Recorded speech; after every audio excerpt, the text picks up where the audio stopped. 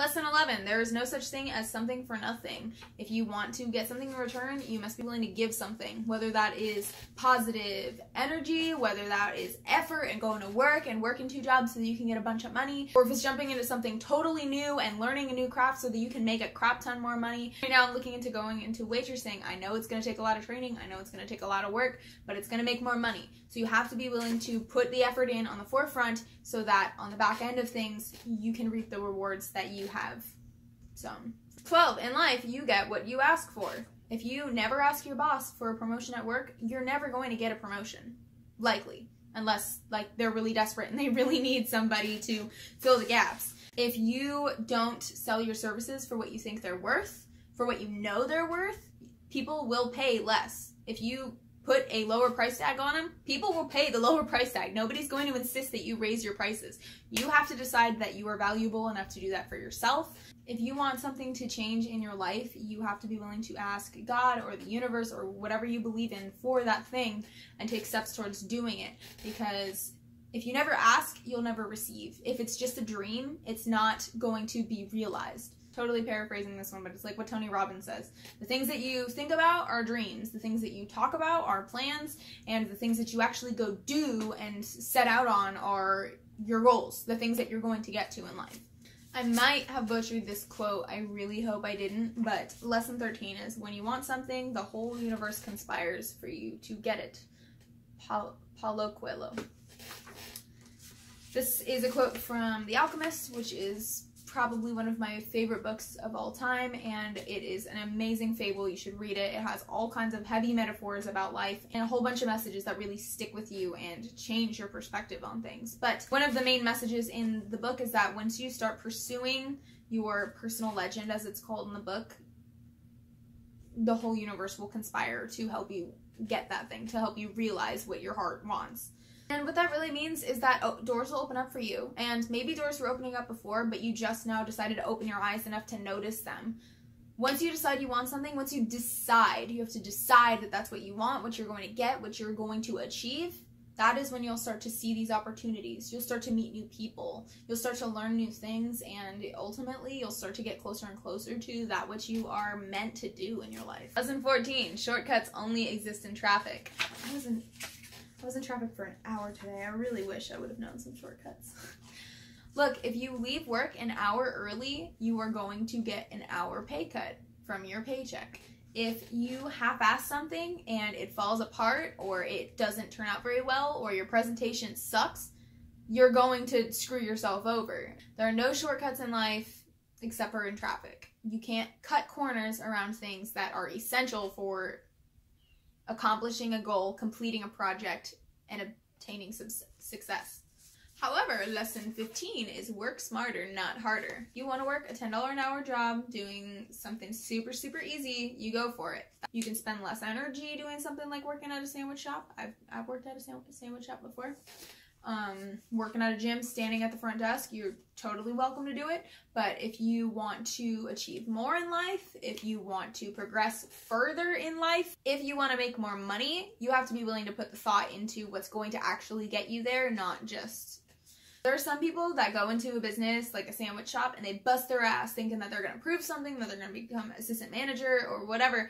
Think about really how open your opportunities are in that kind of place. Think realistically about the possible outcomes of this situation. How likely is it that you are to actually prove to somebody that you're worth more money? My grandma's, for example, the other day we're talking about like their work and how they're unfairly compensated or how my grandma does a crap ton of work and somebody else gets a bonus for it and how uncool that is. She's been working at her company for five years, busting out. She talks so proudly about how she works. I know she's a good worker. I've seen her store and it's amazing. She's one of the best in her position in the district and still she's not fairly compensated and somebody else is getting her bonuses for all the work she's doing. There are some places where opportunity just isn't there no matter how much you ask for it. And if you ask and the answer is no, you go look for someone, you go look for something else. Work smarter, not harder. Be willing to be willing to put in the extra mental effort to get to somewhere where you're making more money instead of just putting in a whole bunch of physical effort to get nowhere. Lesson 16 There will always be a struggle. Choose yours and learn to love it. Life is a series of struggles. Whether you are doing your taxes, whether you are working out to get fit, lose weight, whether you are trying to fix your acne or you're trying to make more money, there's always going to be something to struggle for. Once you overcome those things, there's going to be more struggles. Okay, now my acne's better, but I still don't have the confidence to go ask some guy out. Okay, you, you get the guy and then you get married, whatever, and then you're fighting in your marriage and you're trying to figure that out. There's always going to be something to struggle for, no matter what. No matter where you are in life, no matter what you're doing. You just have to decide what matters enough to you to struggle for. Tons of people spend years in school studying they, something they don't care about just because it's said to make a bunch of money. Then later in life, they come to realize that they wasted a whole bunch of time because they might be making a crap ton of money as a lawyer, as a doctor, but they don't like it. They're not happy where they are. They spent all this time and money in school just to go somewhere and be like, wow, this still wasn't worth it because I'm making a bunch of money, but I'm spending most of my life doing something I don't care about. There are tons of people that drop out of really high positions to start their own business because the money just isn't worth it. It's not making them happy. Life is about the things that you do. And so you have to decide that the things you do are worth your time. Life is a game. So make it fun and happy and games are fun but you struggle you struggle to fight the boss you struggle to get to the next level you struggle to solve a puzzle but you're struggling in a way that you enjoy in a way that challenges your mind and shapes your personality or your character's personality if you like to write, write. It's going to be hard. You're going to have to have discipline to sit down and do it every day. But if you do it, you're going to reap so many more rewards once you publish that book and money comes flying in and oh my god, I have another idea and you keep writing and you're going to go through it again, but you're going to continue to create things that are going to make you happier and are going to contribute more to who you are and to what you know and what you care about in life. If you're a doctor and you make $100,000 a year, but you're miserable where's what's where's the point in that?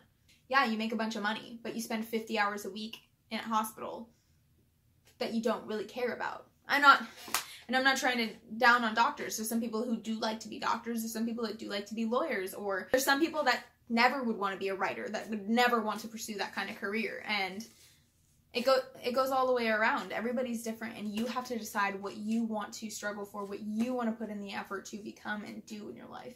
Lesson 17. It's not about how many people are in your life, it's about who those people are. People are gonna come and go. Friends are gonna come and go. High school's gonna show you that. In high school, I had like three groups of friends, and at my going away party when I first moved to Texas, there were like 20 people there. Not kidding. Now, I talk to three of those friends on a regular basis, and maybe like eight, but over the course of a couple months, and then peeping in to say hello. I might only have like two close friends that live around me right now, but they're two friends that raise my energy and make me feel like a better person. And people that trust me and care enough about my opinion to contribute to their lives to make them a better person. And yeah, I could be talking to more people. I've met people at work, I've met people in other places.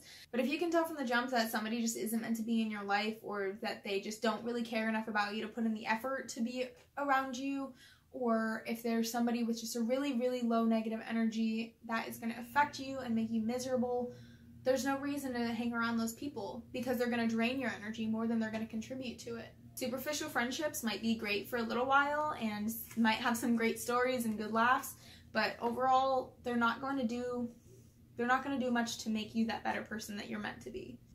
Lesson 18, when it comes down to it, you will survive. You decide whether or not you thrive. You're probably getting sick of hearing me say the sentence, I've lived out of my car, but I've lived out of my car.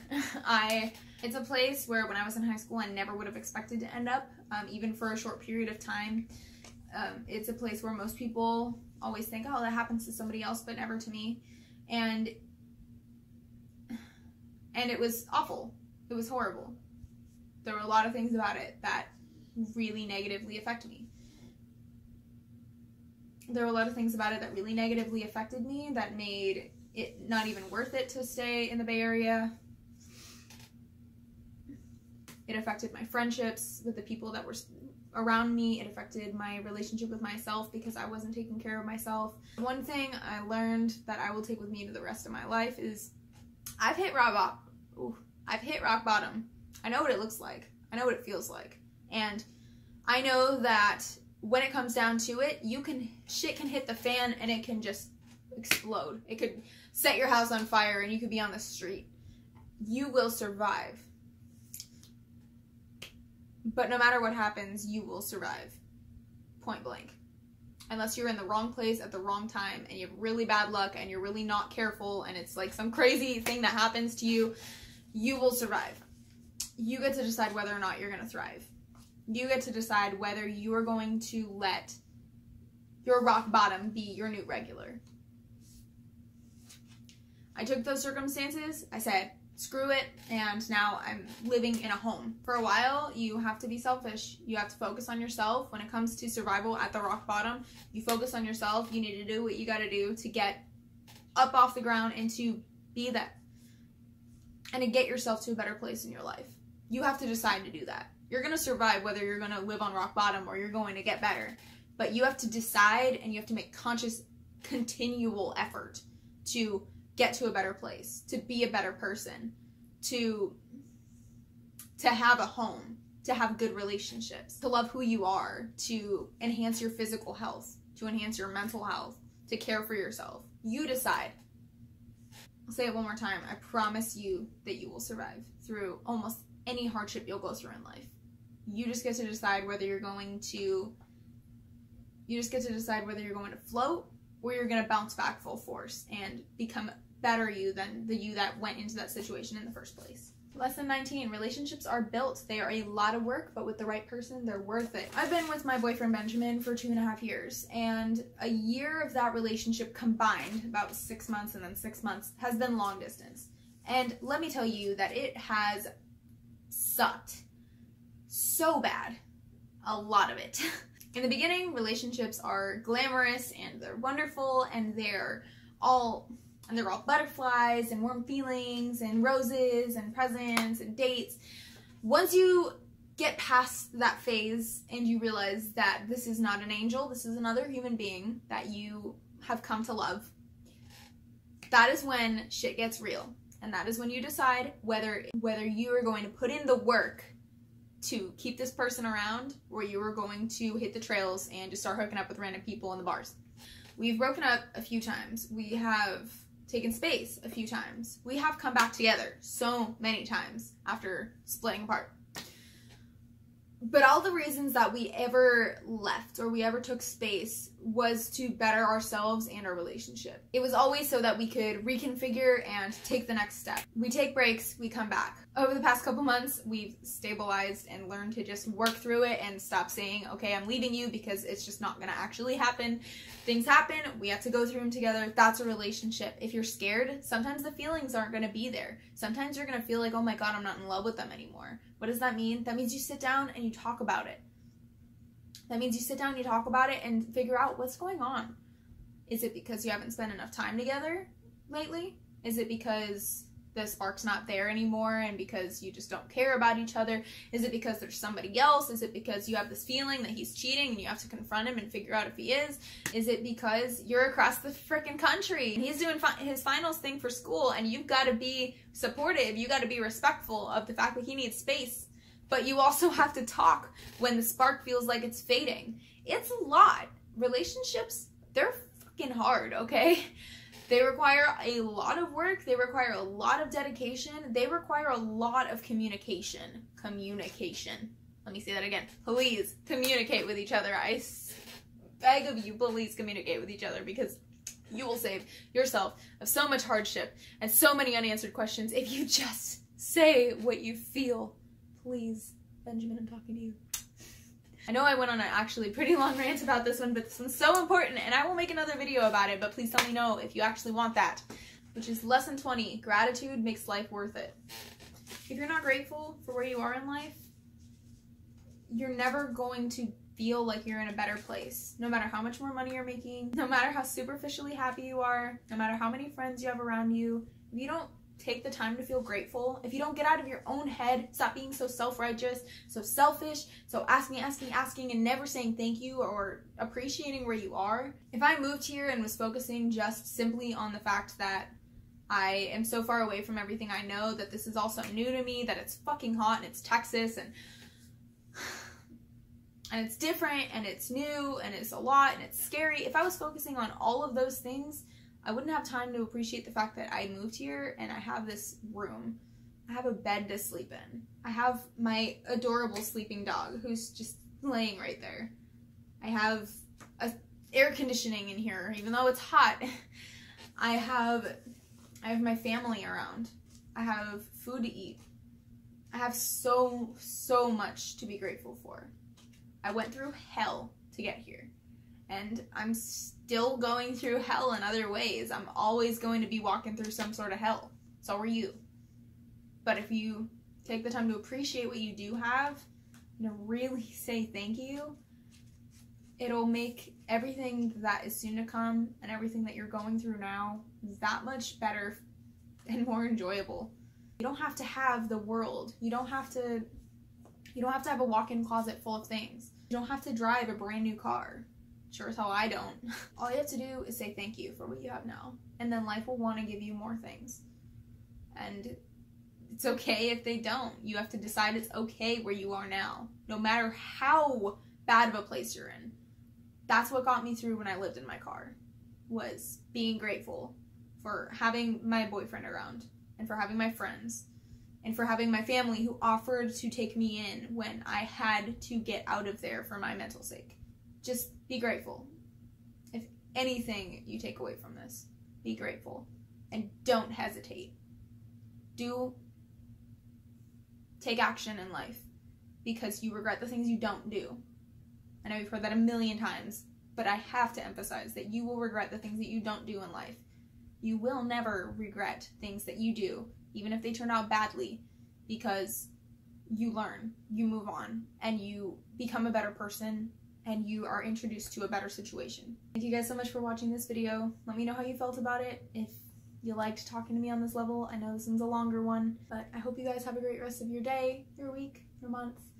Please hit subscribe if you like my vibe, if you want to watch more videos that are like this, not quite this long, uh, if you want to watch more videos in general um, that I, things I talk about, but other than that, look, if you leave work an hour early, an hour lurry. Look, if you leave work an hour lur- early, lurry, why do I keep saying lurry?